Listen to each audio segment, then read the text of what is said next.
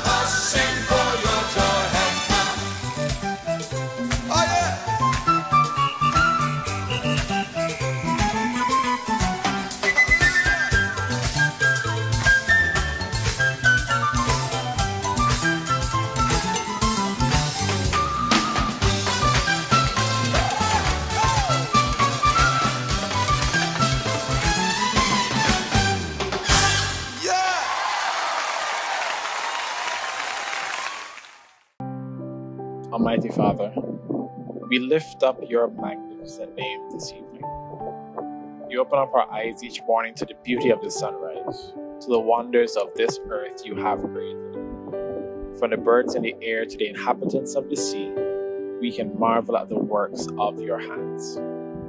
We celebrate the blessings that you bring to us each day and the knowledge that we have that your love knows no bounds. Through you and the sacrifice of your Son, we have become new creations. You love us dearly and have given us a chance to come back to you. You are our banner and our shield, our strength and our protection. And merciful God, we bring our confessions before your altar tonight, asking for you to shower your mercy upon us.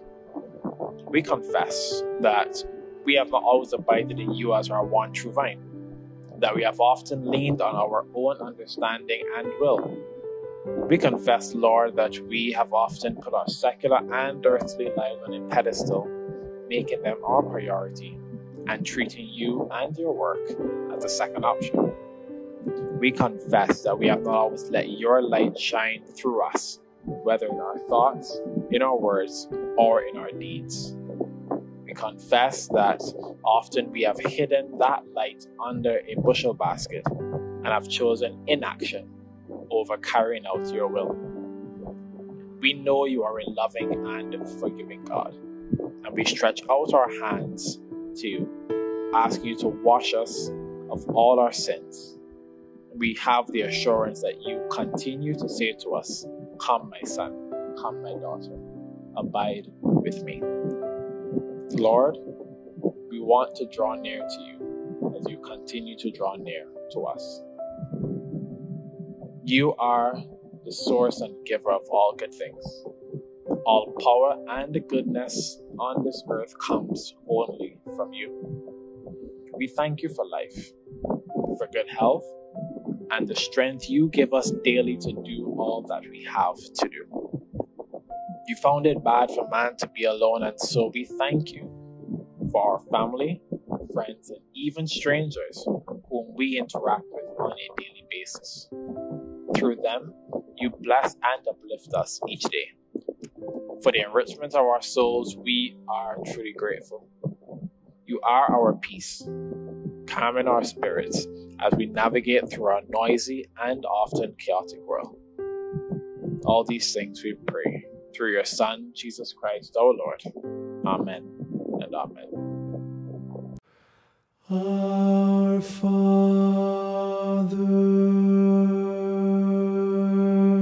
which art in heaven,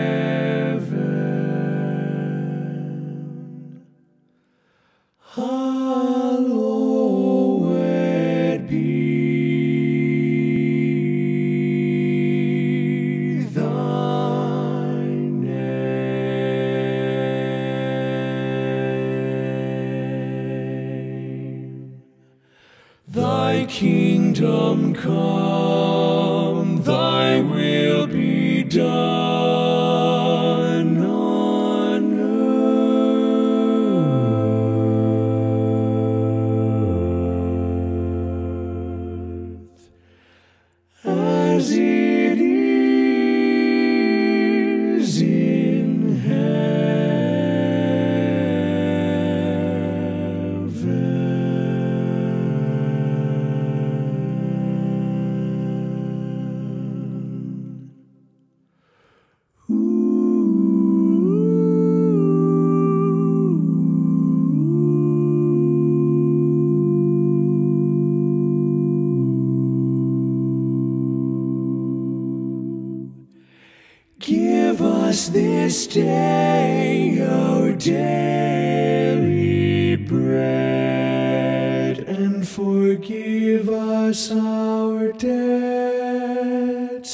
as we forgive our debtors.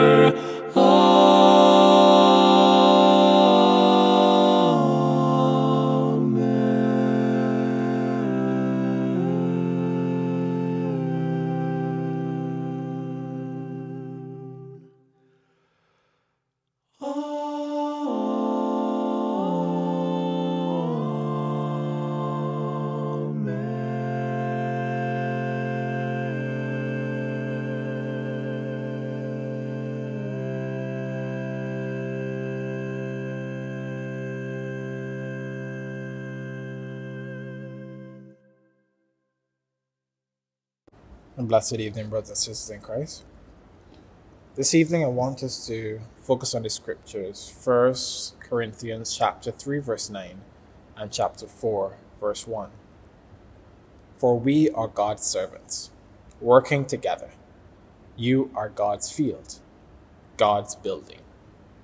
Think of us in this way as servants of Christ and stewards of God's mysteries. This is the word of our Lord. Thanks be to God. As we dive into these scriptures, I want to start with a short poem, a psychoanalytic conversation between a man and himself. Are you a slave or a free man? I am a free man. Then command yourself to turn inside out. I can't. Then command yourself to rise above the stars. I can't. Then command yourself to die. I can't. Then how are you a free man? I can think for myself, but you cannot do as you think. I can think of blinking and do as I think, but you cannot think of dying and do as you think. So I am a slave? Are you a slave or a free man? I am a slave. A slave to what? My humanity. A slave to who? No one. I have no master. So you came into being because of your own doing? My mother gave birth to me. So your mother is your master? But she is dead, so how can she be my master? Then, who is your master? My humanity? Humanity has an end, so how can it be your master? Society? Society has an end, so how can it be your master? The world? The world has an end, so how can it be your master? God? God has no end. God is your master. From this conversation, the question of what does it mean to be a slave to God arises.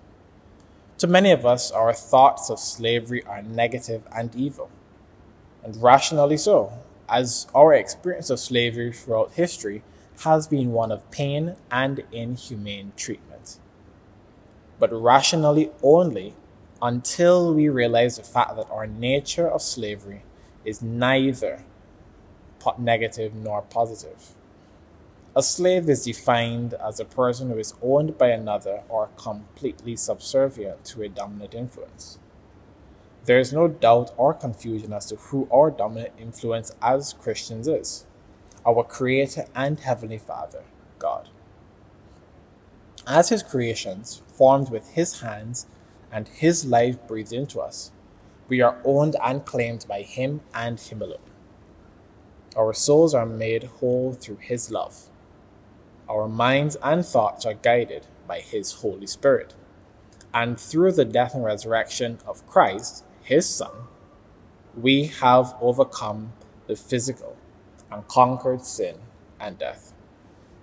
Mind, body, and soul, we belong to God. But the animals are His creation, so too the sun and the moon. Are we slaves to God as they are? No.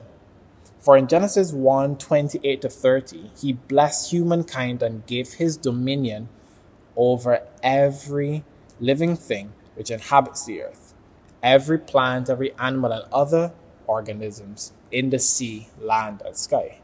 He gave that power and dominion to us. He made us his stewards to his earth and all that is in it. The word steward refers to the slave who was made the manager or guardian of the household. They would not be in the plantation field, but rather in the great house, managing and ensuring that everything ran in accordance to the master's will and liking. A slave with some kind of power seems very ironic, a sort of oxymoron. So we know who our master is God, and we know what the great house is the earth. Now we must discover what our master's will and liking is. The clue comes from the story of creation and the line that repeats itself after each day. And God saw that it was good. As obvious as it may seem, we often find ourselves doing things in the name of arrogance, pride, and greed. We know that lying and sowing seeds of dishonesty is bad, but when it'll lead to our benefit, greed often takes over. We know that when dealing with our children or persons less knowledgeable than us, it'll be better to be soft spoken and understanding. But when our patience grows thin and pride and arrogance takes over, unfortunately, we are not doing the will of our Father.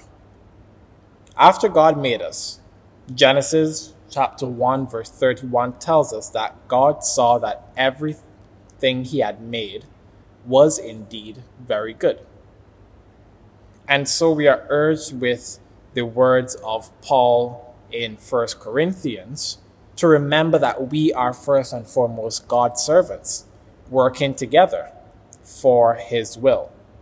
That we are slaves, that we are servants, that we are the good stewards of God. We're also urged by the words of John Wesley to do all the good we can, by all the means we can, in all the ways we can, in all the places we can, at all the times we can, to all the people we can, and as long as ever we can. Why? Because God, our Master, our great Heavenly Father, has declared for us to be good. Where there is good, there is always evil lurking in the shadows, waiting for an opportunity to steal, kill, and destroy. And from the second chapter in the Bible, the devil has been trying to take over this earth, God's good earth. Let us keep doing our duty as good stewards to our Master and Father, and with the power and dominion He has given to us, rid this great house, His earth, our home, of all evil that tries to destroy it. We are servants of our Master, and He has given us the power we need to carry out this duty. So, brothers and sisters, I urge you, as we go through this missionary season and reflect on our purpose as a people, as Christians, banded together to form Christ's army, his hands and feet here on this earth, I urge us to continue to remember our mission to ensure that all we have been given stewardship over is good and in accordance with our God. Amen.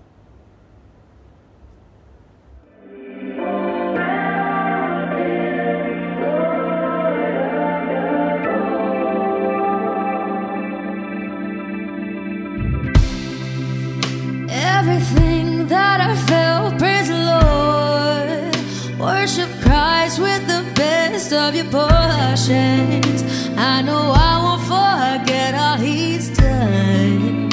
He's a strength in the race that I run. Every time I look up, I see God's faithfulness, and it shows just how much He is miraculous. I can't keep this to myself. I can't sit here and be still. All the people I will tell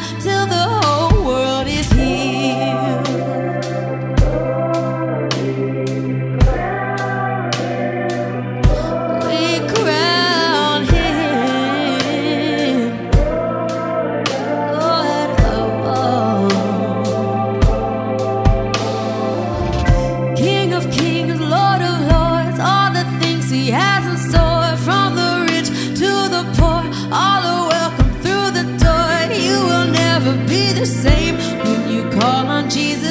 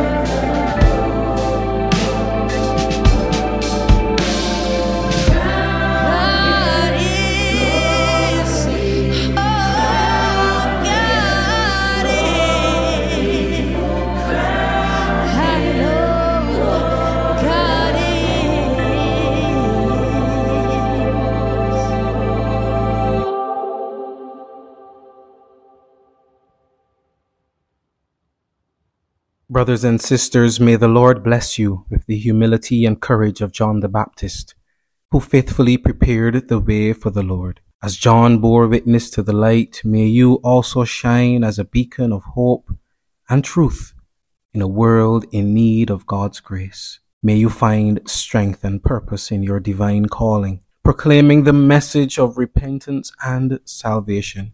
Go forth in the assurance that the Spirit of God is with you, guiding you and empowering you to fulfill His will.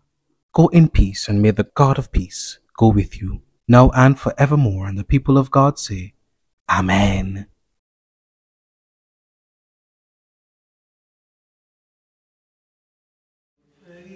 God from whom blessings flow.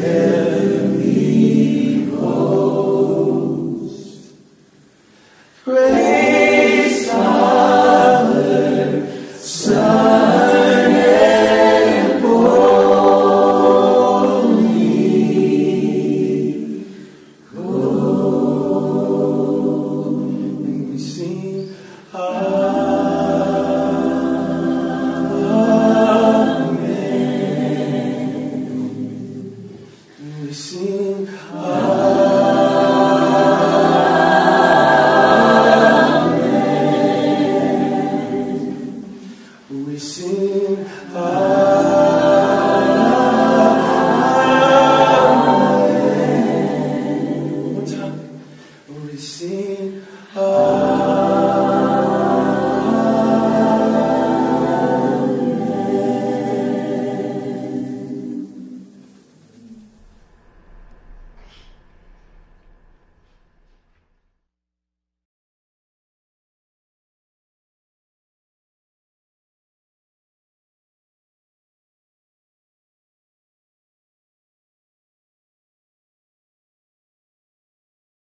Thank you for being a part of our daily devotion. We trust it has been a blessing to you. Now, together, let us hold fast to His word and may it dwell in all of us richly.